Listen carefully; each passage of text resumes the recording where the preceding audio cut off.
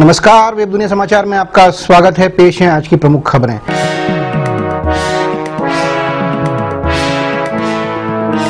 नीतीश कुमार पांचवी बार बिहार के मुख्यमंत्री बने। पटना के गांधी मैदान में शुक्रवार को नीतीश कुमार ने पांचवी बार बिहार के मुख्यमंत्री पद की शपथ ली। नीतीश कुमार के बाद लालू के छोटे बेटे तेजस्वी यादव ने शपथ ली। इनके बाद तेज प्रताप यादव, राजीव रंजन सिंह, आलोक अवधेश सिंह, चंद्रिका राय, कृष्णानंदन वर्मा जय कुमार अब्दुल जलील मफ्तान राम विचार राय, शिवचंद्र राम, मदन मोहन झा, संतोष निराला और मंजू वर्मा ने मंत्री पद की शपथ ली। राहुल गांधी की अगवानी करने गए कांग्रेस के अशोक चौधरी शपथ नहीं ले सके। saque.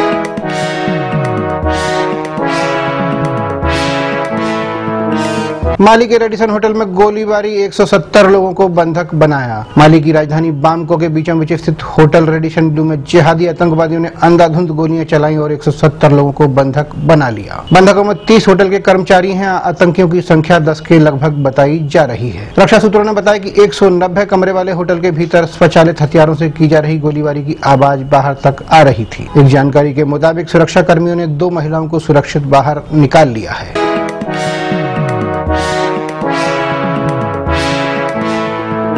इस साल दिख सकता है अलनीनो का सबसे भयावह रूप। दुनिया भर में मौसम को बदलने की क्षमता वाली अलनीनो इस साल अपना सबसे भयावह रूप दिखा सकती है। वैज्ञानिकों का अनुमान है कि प्रशांत महासागर में होने वाली अलनीनो की घटना इस साल इतनी भयावह होगी जितनी पिछले पंद्रह वर्षो में पहले कभी नहीं रही। डेली वेल के अनुसार अलनीनो प्रशांत महासागर के पानी में होने वाली वह घटना है जिसके प्रभाव में न केवल उष्ण प्रदेशों, बल्कि शीतोष्ण कटबंधीय प्रदेशों में स्थित देशों के मौसम में ज़बरदस्त बदलाव होता है और इसके कारण दुनिया भर में बहुत से देश सूखे की मार झेलते हैं तो कई बाढ़ के भयानक रूप का सामना कर सकते हैं।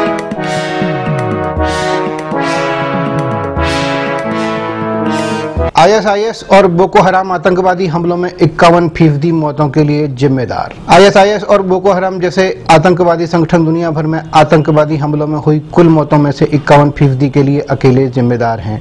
ग्लोबल टेररिज्म इंडेक्स की जारी ताज़ा रिपोर्ट के अनुसार दुनिया में पिछले साल से आतंकवादी घटनाओं में लगातार इजाफा हो रहा है। वर्ष दो हज़ार तेरह की तुलना में बीते वर्ष ऐसी घटनाओं में अस्सी फ़ीसदी का इजाफा हुआ और इस दौरान आतंकवादी हमलों में मारे गए लोगों की संख्या बढ़कर बत्तीस हज़ार अट्ठावन पर पहुँच गई जबकि 2013 में यह संख्या 18,111 रही थी। भारत में लश्कर तैयबा और हिजबुल मुजाहिदीन सबसे खतरनाक आतंकवादी संगठन माने गए।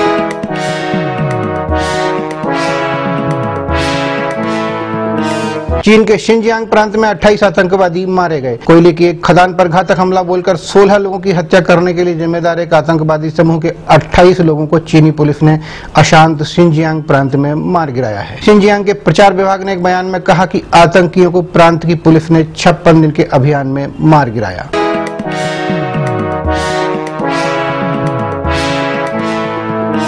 ये थे अब तक के मुख्य समाचार और ज़्यादा जानकारी के लिए लॉगिन कीजिए हमारी वेबसाइट डब्ल्यू नमस्कार।